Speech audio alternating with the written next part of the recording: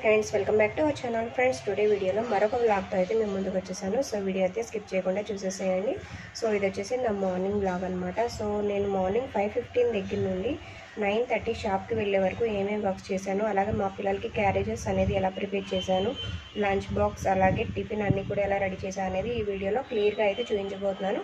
So video అయితే అసలు skip చేయకుండా చూడండి. అలాగే మీ అందరికీ ఈ వీడియో నచ్చినట్టయితే కనుక నా channel Chandu Venkat informative vlogs అనే ఛానల్ అయితే సబ్స్క్రైబ్ చేసుకోండి. ఫ్రెండ్స్ లేట్ చేయకుండా అయితే వీడియో స్టార్ట్ చేసేద్దామా? సో ఇక్కడ నేను వచ్చేసి ఎర్లీ మార్నింగ్ ఫైవ్ ఫిఫ్టీన్కి అయితే లేసాను. సో మార్నింగ్ వ్యూ అయితే చాలా బాగుంది. సో మీరు కూడా చూసారని అయితే చూపిస్తున్నాను ఫ్రెండ్. సో నేను లేచిన వెంటనే రైస్ అయితే కడిగి పెట్టేసి స్టవ్ మీద పెట్టేసుకున్నాను అనమాట సో అన్నం ఉడికేలోపు నేను కర్రీకి కావాల్సినవన్నీ కూడా ప్రిపేర్ చేసేసుకుంటాను. మా బాబుని లంచ్ బాక్స్లోకి ఏం కావాలి అని అడిగితే టమాటా పచ్చడి అయితే చేయమన్నాడు అలాగే దొండకాయ ఫ్రై చేయమన్నాడు. సో టమాటా పచ్చడి కోసం ఒక హాఫ్ కేజీ అయితే టమాటాలను తీసుకొని వీడియోలో చూపిన విధంగా ఈ విధంగా అయితే కట్ చేసుకున్నాను. సో దానికి సరిపడినటువంటి పచ్చిమిర్చిని అయితే వేసుకున్నాను. ఈ టమాటా పచ్చడి అనేది మనకి రైస్లోకి టిఫిన్స్లోకి దేనిలోకైనా కూడా టేస్ట్ అయితే చాలా బాగుంటుంది ఫ్రెండ్స్. సో నేను ఇవన్నీ కట్ చేసుకున్న తర్వాత ఒక చట్టి తీసుకొని చెట్టులోకి అయితే ఇవన్నీ కూడా వేసేసుకున్నాను. సో టమాటా ముక్కలు పచ్చిమిరపకాయ ముక్కలు వేసుకున్న తర్వాత స్టవ్ వెలిగించుకొని స్టవ్ మీద అయితే ఈ చట్నీ పెట్టుకున్న తర్వాత ఒక రెండు స్పూన్ల ఆయిల్ అయితే వేసుకున్నాను అనమాట ఆయిల్ అంతా వేసిన తర్వాత ఒక మూత పెట్టుకొని సిమ్లో పెట్టి మగ్గనిచ్చినట్టయితే కనుక టేస్ట్ చాలా బాగుంటుంది. సో ఇక్కడ నేను టమాటాలు మగ్గేలోపు దొండకాయలను అయితే వీడియోలో చూపిన విధంగా చిన్న చిన్న పీసెస్గా అయితే కట్ చేసుకుంటున్నాను. సో దొండకాయ ఫ్రై అయితే బాబు చిన్న చిన్న పీసెస్గా అయితే చేయమన్నాడు. సో మధ్య మధ్యలో టమాటా ముక్కలు కలుపుకుంటూ దొండకాయ ముక్కలు కూడా ఈ విధంగా మొత్తం అయితే కట్ చేసేసుకున్నాను అనమాట సో ఇప్పుడు నేను బాబు లంచ్తో పాటు స్నాక్స్ కూడా పెడుతున్నాను చెప్పాను కదా ఫ్రెండ్స్. ఇక్కడ నిమ్మకాయ పులిహోర అయితే కలుపుతున్నాను. సో అదైతే సాయంత్రం వరకు పాడవకుండా ఉంటుందని. సో టమాటా ముక్కలు అయితే ఇక్కడ మగ్గిపోయినాయి. టమాటా ముక్కలు మగ్గిన తర్వాత కొంచెం చింతపండు అలాగే రెండు వెల్లుల్లిపాయ రెబ్బలు అయితే వేసుకున్నాను. సో టమాటా ముక్కలు అనేది ఈ విధంగా మనకు మగ్గినట్టయితే కనుక సరిపోతుంది. సో ఇప్పుడు స్టవ్ ఆఫ్ చేసుకొని ఇది పూర్తిగా చల్లారిన తర్వాత మిక్సీ అయితే వేసుకోవాలి. సో ఇక్కడ నేను నిమ్మకాయ పులిహార కోసం క్యారెట్ అలాగే ఎండుమిర్చి కొంచెం జీడిపప్పు పచ్చిమిరపకాయ కొత్తిమీర కరివేపాకుని అయితే తీసుకున్నాను అనమాట సో కొంచెం వేరుశనగ గుళ్ళు కూడా వేసుకున్నాను. సో మా బాబుకి తాలింపు గింజలు ఎక్కువ ఉంటే ఇష్టం అలాగే నాకు కూడా. సో అందుకని కొంచెం పచ్చని పప్పు అలాగే తాలింపు గింజలు అయితే తీసుకున్నాను. ఒక బండి పెట్టుకొని రెండు స్పూన్ల ఆయిల్ అయితే వేసుకున్నాను. ఆయిల్ బాగా కాగిన తర్వాత తాలింపు దినుసులను అయితే వేసుకొని ఫ్రై చేసుకోవాలి. అలాగే పచ్చి శనగపప్పును కూడా వేసుకొని వేపుకున్నాను. తర్వాత కొంచెం కరివేపాకు పచ్చిమిర్చి ఎండుమిరపకాయ వేసుకొని ఫ్రై చేసుకుంటున్నాను. జీడిపప్పును అలాగే వేరుశనగ గుళ్ళు కూడా వేసుకొని బాగా ఫ్రై చేసుకోవాలి. సో ఇదంతా కూడా బాగా మనకి ఫ్రై అయిపోయిన తర్వాత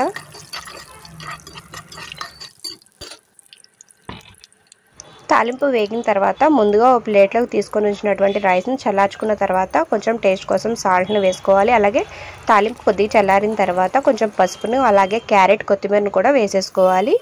సో చల్లారినటువంటి అన్నం మీద తాలింపు మొత్తాన్ని కూడా వేసుకొని బాగా మిక్స్ అయ్యే వరకు కలుపుకోవాలి. మనం గెరెటితో కలుపుకోవడం కన్నా చేతితో కలుపుకున్నట్టయితే కనుక పులిహార అనేది టేస్ట్ చాలా బాగుంటుంది. సో రైస్ మొత్తం కూడా బాగా అన్నీ కూడా పడతాయి అనమాట సో ఇక్కడ నేను నిమ్మకాయ రసాన్ని అయితే పిండుకొని పులిహోరలో అయితే కలిపేసుకుంటున్నాను. సో ఎంతో టేస్టీగా ఉండే నిమ్మకాయ పులిహోర అయితే రెడీ అయిపోయింది. సో మా పిల్లలకైతే వీక్లీ వన్స్ అన్న నిమ్మకాయ పులిహోర అలాగే పొంగలి అనేది చేస్తూ ఉండాలి. మా పిల్లలకైతే చాలా ఇష్టం అనమాట సో పులిహోర అనేది అయిపోయిన తర్వాత నేను దొండకాయ ఫ్రై అయితే చేస్తున్నాను. సో దొండకాయ ముక్కలను ఈ విధంగా అయితే గట్టిగా పిండుకొని పులిహోర కోసం పోపు పెట్టుకున్నటువంటి బాండీలోనే మరొక గరిట ఆయిల్ అయితే పోసుకున్న తర్వాత దొండకాయ ముక్కలు గట్టిగా పిండేసుకొని బండిలో అయితే వేసేసుకున్నాను. సో ఇవి పిండగా వచ్చిన వాటర్ని అయితే తీసేసుకున్నాను అనమాట సో ఈ దొండకాయ ముక్కలు వచ్చేసి నాకు దొండకాయలు అనేది ఒక పావు కిలో మాత్రమే ఉన్నాయి. సో వాటిని కట్ చేసేసి ఒక గరిటతో కలుపుకొని సిమ్లో పెట్టుకొని మూత పెట్టుకున్నాను. ఇవి ఒక ఐదు నిమిషాల్లోపు మనకైతే పూర్తిగా మగ్గిపోతాయి. సో మనకి పూర్తిగా మగ్గిన తర్వాత ఉప్పు అనేది కొంచెం చెక్ చేసుకొని నేను వీడియోలో చూపిన విధంగా అయితే తాలింపునైతే పెట్టుకుంటూ ఉంటాను దొండకాయ ఫ్రైకి. సో ఈ విధంగా దొండకాయ ముక్కలన్నీ పక్కకు నెట్టేసి తాలింపు గింజలు వేసుకున్న తర్వాత రెండు వెల్లుల్లిపాయ రెబ్బలను అయితే ఈ విధంగా చెత్త కొట్టుకొని అయితే వేసుకుంటున్నాను. సో తాలింపు అయితే వేగిపోయింది. సో ఈ దొండకాయ ముక్కలన్నిటిని కూడా పూర్తిగా కలిపేసుకొని మనకి కారం అనేది ఇందులో చాలా తక్కువ పడుతుంది. ఒక పావు స్పూన్ అయితే కారంను వేసుకోవాలి. మరొకసారి గరిడతో కలుపుకున్నట్టయితే కనుక మనకి దొండకాయ ఫ్రై కూడా రెడీ అయిపోతుంది. దొండకాయ ఫ్రై అయిపోయిన తర్వాత పొంగల్ చేద్దామని బాబు కోసం నెయ్యి చూస్తే నెయ్యి అయితే పూర్తిగా అయిపోయింది. సో బటర్తో చేస్తే ఎలా ఉంటుంది అని మిల్క్ మెస్ట్ బటర్ అయితే ఉంది. సో దాన్ని ఒక బౌల్లో అయితే వేయగానే చాలా పొగ అయితే వచ్చేసింది. నాకు చాలా భయం వేసింది. సో స్టవ్ అయితే ఆఫ్ చేస్తాను. సో ఇది నెయ్యిలాగా కరిగిన తర్వాత జీడిపప్పును అయితే ఫ్రై చేసుకున్నాను. తర్వాత పాలను పోసుకొని ఉడికించుకొని ఉంచిన రైస్ని అయితే ఇందులో కొంచెం వేసుకున్నాను. జీడిపప్పును అయితే పక్కన పెట్టుకొని ఉంచుకున్నాను ఫ్రెండ్స్. సో పాలు అనేది బాగా కాగిన తర్వాత ఈ ఉడికించినటువంటి రైస్ని అయితే వేసుకున్నాను అనమాట రైస్ ఆల్రెడీ ఉడికే ఉంది కాబట్టి మరికొద్దిగా ఉడికిన తర్వాత ఇందులో ఒక యాలక్కాయని అయితే వేసుకున్నాను. అలాగే బెల్లం తురుము ఉంచుకున్నాను కదా సో దాన్ని కూడా ఈ పాలల్లో అన్నం అనేది బాగా మెత్తగా ఉడికిపోయిన తర్వాత బెల్లంను కూడా వేసుకున్నాను. సో ఒకసారి గరిటతో కలుపుకొని మరొక ఐదు నిమిషాలు సిమ్లో పెట్టుకొని మనకి ఉడికించుకున్నట్టయితే కనుక పొంగల్ అయితే రెడీ అయిపోతుంది. సో ఇందులో నేను ముందుగా వేపుకొని ఉంచుకున్నటువంటి జీడిపప్పుని అయితే వేసేసాను అనమాట సో ఇది కూడా టేస్ట్ చాలా బాగుంది. సో ఇవన్నీ రెడీ చేస్తూనే మా బాబుకి బస్ టైం అయితే అయిపోతుంది కాబట్టి లంచ్ బాక్స్ అనేది ప్రిపేర్ చేశాను. వైట్ రైస్లో ముందుగా దొండకాయ ఫ్రై చేస్తాను. అలాగే పొంగల్ అయితే బాక్స్లో పెట్టేశాను అనమాట సో పులిహోర కూడా పెట్టుకున్నాడు. సో ఈవినింగ్ టైంలో అయినా తినొచ్చు పాడవకుండా ఉంటుంది కదా అని చెప్పని ఈవినింగ్ టైం కూడా చేయించుకున్నాడు. అలాగే రెండు బిస్కెట్ ప్యాకెట్లు అయితే పెట్టేశాను. సో బాబుకి బస్ టైం అయిపోయింది కాబట్టి ఇక రెడీ అయ్యి వెళ్ళిపోయాడు. సో టమాటా పచ్చడి అనేది వేయలేదు కరెంట్ పోవడం వల్ల. సో బాబు వెళ్ళిన తర్వాత కరెంట్ వచ్చాక ఈ టమాటా పచ్చడి అయితే మిక్సీ వేసుకున్నాను. సో ఎప్పుడైనా టమాటా పచ్చడిలో మనం కొంచెం కొత్తిమీర కరివేపాకును కూడా లాస్ట్లో వేసుకొని ఒక తిప్పు తిప్పుకున్నట్టయితే టేస్ట్ చాలా బాగుంటుంది.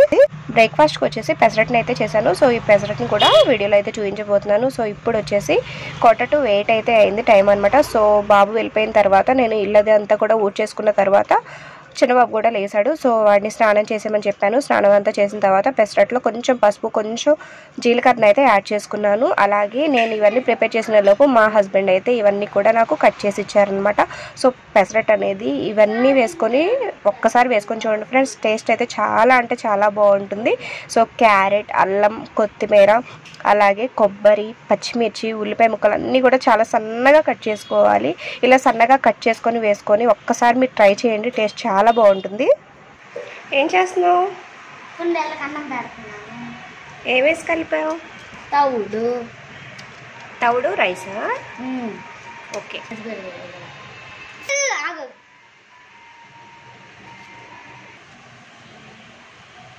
సో ఇక్కడ చూస్తున్నారు కదా ఫ్రెండ్స్ రెండు కుందేళ్ళు అయితే మేము పెంచుకుంటున్నాం. మా చిన్న బాబుకి కుందేళ్ళు అంటే చాలా ఇష్టం అనమాట సో నేను షాప్కి వెళ్ళే లోపే వీటికి కావాల్సిన ఫుడ్ అంతా కూడా వేసేస్తూ ఉంటాను. సో రైస్ కలిపి వేస్తాను. అలాగే క్యారెట్ ముక్కలు కొంచెం కొత్తిమీర అనేది వేసి వెళ్తూ ఉంటాను. సో ఈవినింగ్ వరకు వాటికి ఫుడ్ అనేది ఉంటుందన్నమాట. సో బాబుకి కూడా స్కూల్ టైం అయిపోతుంది. సో అందుకని చెప్పని టిఫిన్ అయితే ప్రిపేర్ చేసేస్తున్నాను. ముందుగా పెనం పెట్టుకొని పెనం మీద కొంచెం ఆయిల్ అయితే వేసుకున్నాను. సో ముందుగా చిన్నది అయితే పెసరట్ అయితే వేస్తున్నాను అనమాట సో ఇది మనం ఏదైనా కూడా వంట చేసేటప్పుడు స్టవ్ దగ్గర అయితే పెట్టుకుంటూ ఉంటాం కదా. సో అలాగే చిన్నది అట్టు వేసేసి దేవుడికి అయితే పెడుతున్నాను అనమాట అగ్నిదేవుడికి.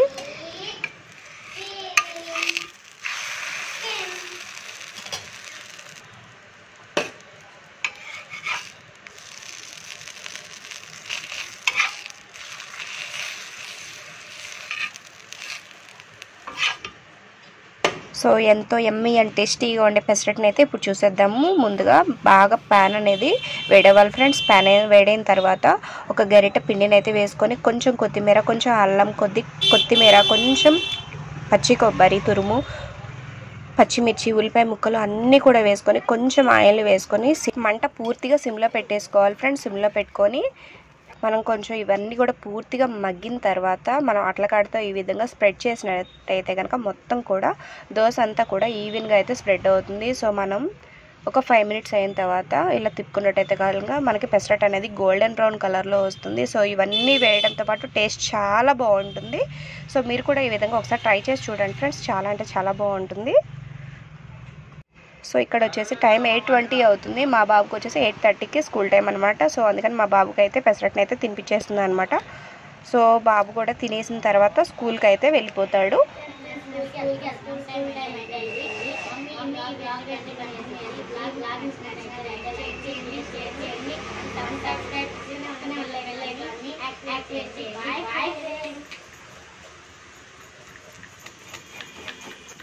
దసి బాయ్. సో ఇక్కడ నేను వచ్చేసి దొండకాయ ఫ్రై అనేది మాకు కొంచెమే ఉంది కాబట్టి అప్పడాలను అయితే వేపాలనుకుంటున్నాను. ముందుగా స్టవ్ వెలిగించుకొని ఒక బాండీలో ఆయిల్ని అయితే పోసుకున్నాను. సో ఇక్కడ మేము అశోక అప్పడాలను అయితే ఎక్కువ యూజ్ చేస్తూ ఉంటాము. సో షాప్కి ఇంత పెద్ద పెద్ద అప్పడాలు తీసుకెళ్ళాలంటే పెద్ద బాక్స్లు అవైలబుల్లో ఉండవు కాబట్టి నేనైతే వీడియోలో చూపిన విధంగా రెండు రెండు పీసెస్కి అయితే కట్ చేసుకుంటాను అనమాట సో ఇలా కట్ చేసుకోవడం వల్ల మనకి అప్పడం అనేది వేగిన తర్వాత బాక్స్లో పెట్టుకోవడానికి ఈజీగా ఉంటుంది. సో నేను ముందుగా నేను నూనె కాగక ముందే రెండైతే వేసేసాను ఫ్రెండ్స్ ఫాస్ట్ ఫాస్ట్గా సో నేను పన్నమ్మట పని వెమ్మటమ్మట అయితే చేసేసుకుంటూ ఉంటాను ఫ్రెండ్స్ సో నాకు అందుకే పనులన్నీ కూడా చాలా ఫాస్ట్గా అయితే అయిపోతాయి అనమాట సో ఆయిల్ మనకి బాగా కాగిన తర్వాత అప్పడాల్లో అయితే వేసుకుంటే సైజ్ కూడా చాలా పెద్దగా అయితే వస్తాయి. సో వంటగదిలో పనులన్నీ పూర్తి అయిపోయిన తర్వాత సో నాకు సామాన్లు అయితే ఇంకా కడగాలన్నమాట. సో ఇవన్నీ కూడా నేను శుభ్రంగా క్లీన్ చేసేసుకున్నాను. తర్వాత క్యారేజీని అయితే రెడీ చేసేసుకుంటున్నాను అనమాట సో ఫైనల్గా మా లంచ్ బాక్స్ వచ్చేసి వైట్ రైస్ అలాగే పులిహార టమాటా పచ్చడి అలాగే కొంచెం దొండకాయ ఫ్రై అయితే ఉంది. సో దొండకాయ ఫ్రై కూడా పెట్టుకున్నాం అనమాట తర్వాత లాస్ట్లో వేపుకున్నటువంటి అప్పడాలు అనమాట ఇంట్లో తోడు పెట్టినటువంటి పెరుగు. సో ఇవన్నీ కూడా నాకు మా బాబుకి అలాగే మా హస్బెండ్కి అయితే లంచ్ బాక్స్ అయితే ప్రిపేర్ చేసేస్తున్నాను. సో ఎండ ఎక్కువగా ఉంటుంది కాబట్టి నేను మజ్జిగను అయితే ప్రిపేర్ చేసుకొని వెళ్తాను. ఫ్రెండ్స్ ఈ మజ్జిగను కూడా నేను ఎలా చేసుకుంటానో ఒకసారి చూడండి. పెరుగు కొంచెం కొత్తిమీర కొంచెం అల్లం కొద్దిగా ఉప్పు వేసుకొని మిక్సీ పట్టుకుంటాను. సో ఇందులో నేను వాటర్ని అయితే యాడ్ చేయను అనమాట సో వాటర్ అనేది నేను ఎప్పుడు యాడ్ చేస్తాను మీరు ఈ వీడియోలో చూస్తూ ఉండండి. మీకే అయితే తెలుస్తుంది. సో ఈ విధంగా చేసుకున్నటువంటి చిక్కటి మజ్జిగను అయితే ఒక ప్లాస్టిక్ డబ్బాలో పోసుకొని మూత పెట్టేసుకుంటాను. సో టోటల్గా నా లంచ్ బాక్స్కి కావాల్సినవన్నీ కూడా ప్రిపేర్ చేసేస్తున్నాను. సో గడ్డ వాటర్ బాటిల్స్ని అలాగే కొంచెం తాగడానికి వీలుగా ఉన్నటువంటి వాటర్ని కూడా పెట్టుకుంటాను అనమాట టైం వచ్చేసి నైన్ థర్టీ అయిపోయింది. నా పనులన్నీ ఫినిష్ అయిపోయినాయి. మార్నింగ్ మీకు వ్యూ చూపించాను కదా ఫ్రెండ్స్ ఫైవ్ ఫిఫ్టీన్కి. సో ఇప్పుడు నైన్ థర్టీకి చూడండి ఏ విధంగా ఉందో సూర్యుడు అయితే ఎలా ఉన్నాడో చూసారు కదా? సో వీడియో మొత్తం చూసారు కదా ఫ్రెండ్స్? సో నేను పన్నెమ్మటి పని అన్నీ చేసేసుకుంటే నాకైతే నైన్ థర్టీ కల్లా అన్ని వర్క్స్ అన్ని ఫినిష్ అయిపోతాయి. ఈ వీడియో మీ అందరికీ యూస్ఫుల్ అయింది అనుకుంటున్నాను. ఈ వీడియో మీ అందరికీ నచ్చినట్టయితే కనుక నా ఛానల్ సబ్స్క్రైబ్ చేసుకొని పక్కన ఉన్న బెల్ యాక్టివేట్ చేసుకోండి. అలాగే వీడియోని లైక్ చేయండి షేర్ చేయండి. మరొక మంచి వీడియోతో మళ్ళీ మీ ముందుకు వస్తాను.